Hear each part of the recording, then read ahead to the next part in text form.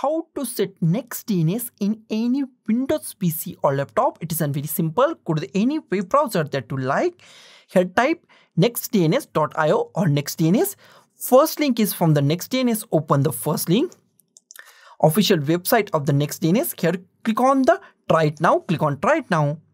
Wait for a few seconds. Here we find our DNS server. We are going to add this DNS server to our PC or laptop, Windows PC or laptop. Go to the start type control panel. Click on the control panel.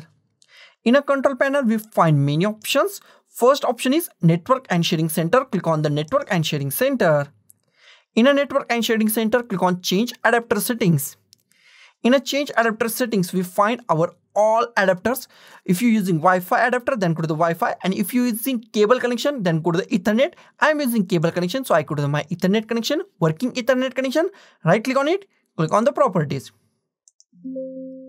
here we find Internet Protocol version 4. Click on that and click on the property.